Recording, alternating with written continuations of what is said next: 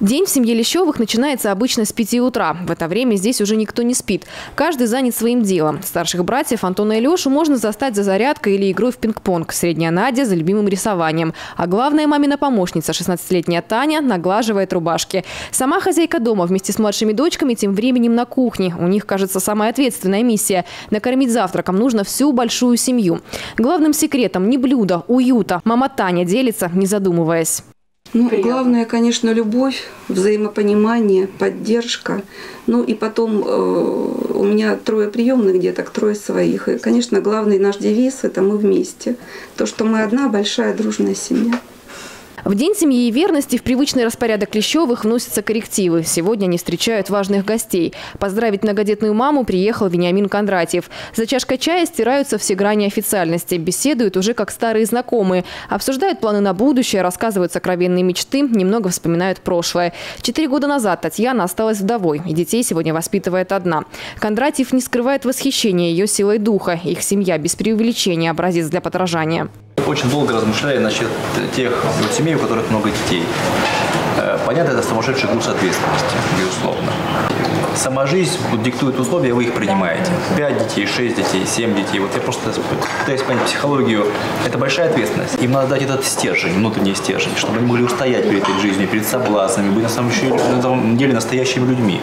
Все наши дети запланированы. То есть это вообще осознанный был шаг. Да. И, в общем-то, вот с мужем мы всегда жили ради детей.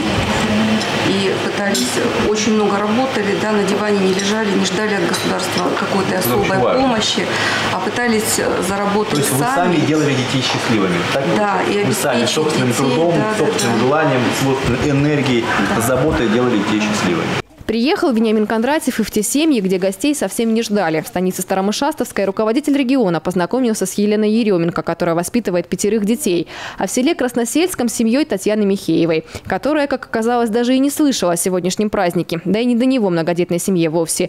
Здесь озадачены вопросом жилищным. В двух маленьких комнатах вместе с родителями ютятся шесть малышей. Скромная Надя, прячась за спины братьев, показывает, как поделили спальные места.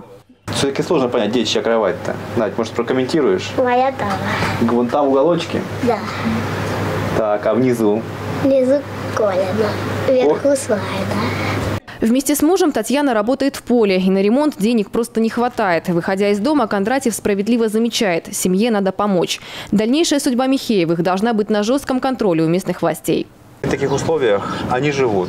Но это не значит, что это нормально и хорошо. Вот проработайте вопрос по возможности или ремонта этого жилья, но так, чтобы количество комнат увеличилось. Прошу взять под личный контроль и в течение недели предложить пути решения так, чтобы они жили в нормальных человеческих условиях. Все, есть. А вот Родионовы из Елизаветинской, о Дне святых Петра и Февронии, не только знали, к подготовке этого праздника здесь подошли основательно. На столе сегодня торт. Его испекла мама Ольга вместе с дочерьми. С гордостью рассказывает, помощников по хозяйству хватает. Вместе с мужем они воспитывают восьмерых детей. Трое родных и пять приемных. Но по секрету Вениамину Кондратьеву признаются, останавливаться на этом не собираются. Чувствуют, что сил, а главное любви на всех хватит. Андрей заразил идеей. Мы еще не поженились. Он всем знакомым говорит, у нас будет 10 детей. Я такая думала, ну да, да, да. А сейчас, а сейчас для меня это реальность. Вот внутри я понимаю, что я без этого жить не могу.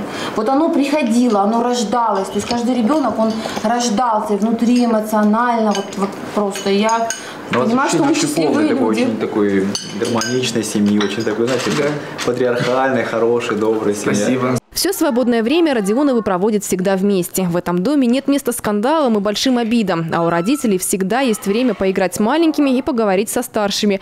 Этот пример самой настоящей семьи, любви и верности, который, к слову, стал заразительным. Когда я уже вырасту, когда уже замуж выйду, я хочу много детей. Вот, ну, я думаю, у меня трое детей точно будет. Вот, там уже как Бог даст, как получится. Мария Крошна, Елена Касабова, Денис Перец, Денис Москаленко и Алексей Комаров. Кубань 24.